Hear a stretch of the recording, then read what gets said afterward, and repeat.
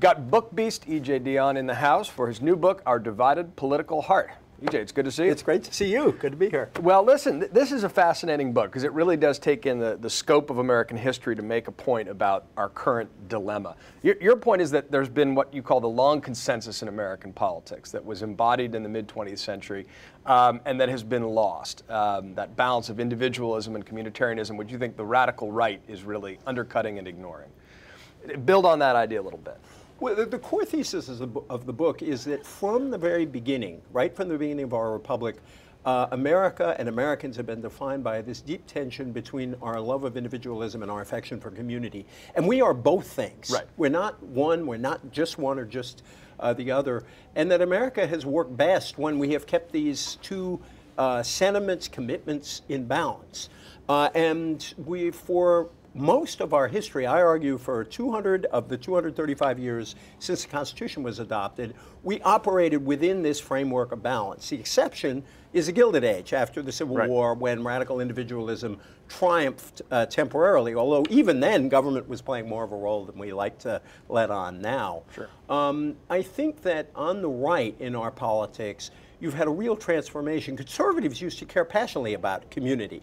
Uh, Bill Buckley did a book called Gratitude uh, that talks a lot about our obligations to each other. Great writers like Robert Nisbet, old conservatives like Edmund Burke, they were all vitally concerned with what held us together. Sure. Uh, and I think in reaction to the failures of the Bush administration and a reaction against President Obama, um, our conservative friends just really veered toward this radical individualism. They decided that Bush was seen by the country as a failure. They didn't want to blame it on his being too conservative, so they right. had they blamed it on his being a big government guy, even though a lot of that big government was in Iraq and Afghanistan.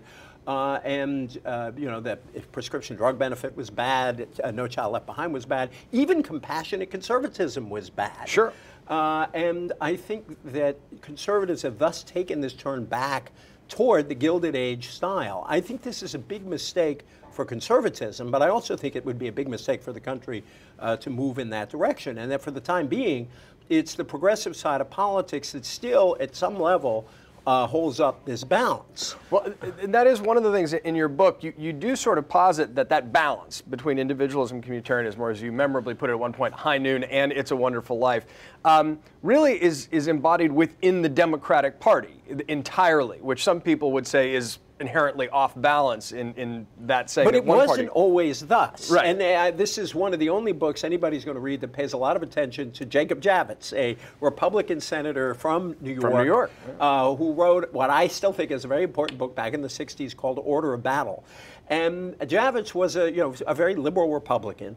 Uh, and people often asked him, why are you a liberal and still in the Republican Party? And in that book, he sort of has a section called The Choice of Ancestors. And if you look at the roots of the Republican Party, you find it in Alexander Hamilton, sure. uh, who was the guy who favored a strong national government, created a Bank of the United States, favored a manufacturing future for our country, uh, and the government had to play a role in bringing that about. Henry Clay, whose American system he proposed in contrast to the British laissez-faire system, and of course Abraham Lincoln, who sure. set up the land grant colleges.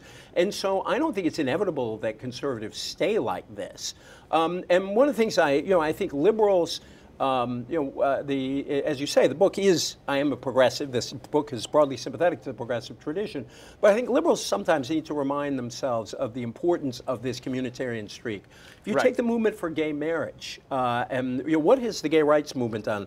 I argue it's a quintessentially American uh, movement because the first two big recent demands of the gay rights movement were for marriage and for the opportunity to serve the country in the military obviously those were Very about rights, right. but they were also about responsibilities. It was uh, Americans who are gay or lesbian said, "We want to serve the country. We want the responsibilities that's of marriage." that's a very and that's point. Uh, and I think they in that choice reflected very much who we are, which is why they've had a lot of success. So, well, listen, it, you know, whether you like politics or political history, it's a great read. Our divided political oh, heart. bless you. Thank, Thank you you. so much.